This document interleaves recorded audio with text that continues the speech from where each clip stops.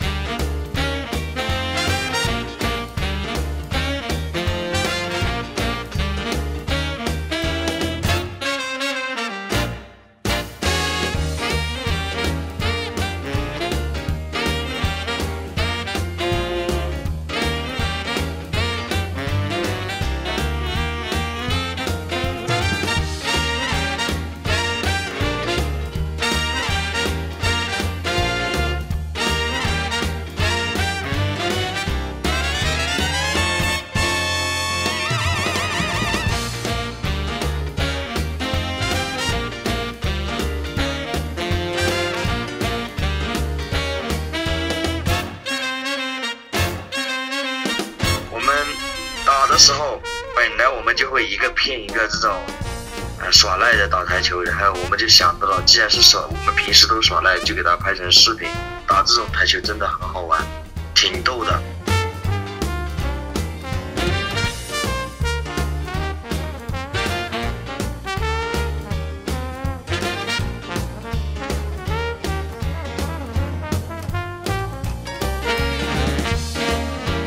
我们玩的都是娱乐性的，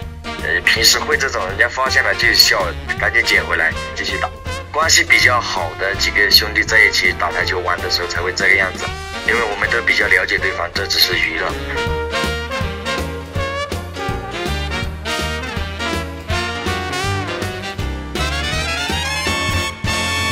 明年的二零二零年的时候，我们就好好的组建一个团队，好好拍视频，全国各地的网友都能带来一点欢声笑语，我们会努力的。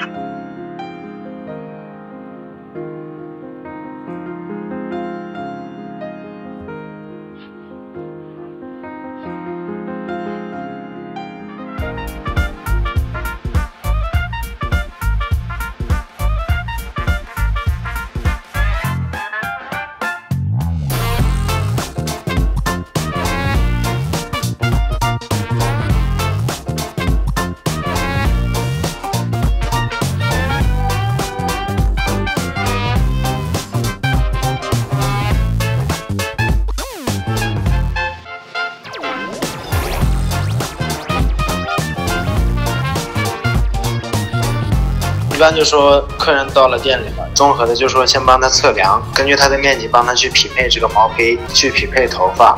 然后呢再把这个毛坯戴到他头上，根据他的一些像是个人的职业呀、平常的穿着打扮、年龄还有脸型，综合的去帮他设计和修剪属于一个他的发型。其实最主要的就是说要让这个假发适合他，让这个假发让他戴上去比较真。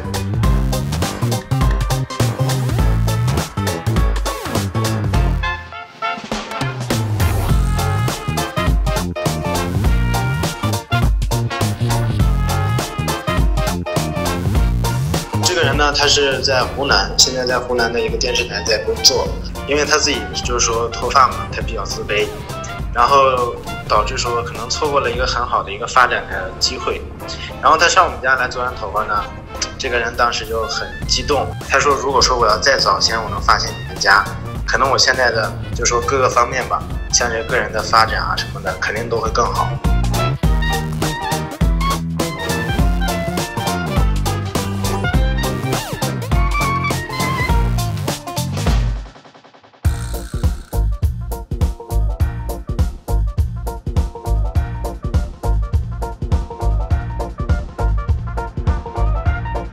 就是说，想通过这些平台吧，去颠覆人们这一个认知。就说呢，现在我们可以把假发做得很真，做得很好，跟以往的话有一些